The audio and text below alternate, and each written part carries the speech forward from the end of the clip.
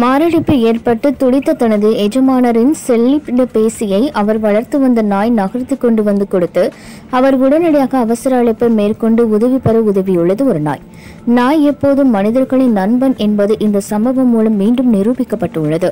அது மட்டுமல்ல மாரடைப்பால் துடித்த தனது எஜமானரை விட்டு செல்லாமல் அவரது முகத்தை நாக்கால் தடவி கொடுத்து அவர் விழிப்புடன் இருக்க செய்துள்ளது. அவர் வளர்த்து வந்த ஜெர்மன் ஷெப்பர்ட் நாயான ஜேடி நியூ ஜெர்சியில் இந்த சம்பவம் நடைபெற்றுள்ளது. இது குறித்த தகவல்கள் சமூக வலைதளத்தில் பரவியதை அடுத்து பாராட்டுகளும் வாழ்த்துக்களும் குவிந்து வருகின்றன. அதன் முதல் உரிமையாளர் வேறு பகுதிக்கு இடம்பெயர்ந்த போது அதனை விலங்குகள் இல்லத்தில் சேர்த்துவிட்டார் அங்கு தனிமையில் வாழிய இந்த செடியை சில மாதங்களுக்கு முன்புதான் பிரயன் எடுத்து வளர்த்து வந்தார். சேடியை பார்த்ததுமே பிரையனுக்கு பிடித்துவிட்டது. அதன் புத்தி கூர்மை அறிவு இவற்றால்.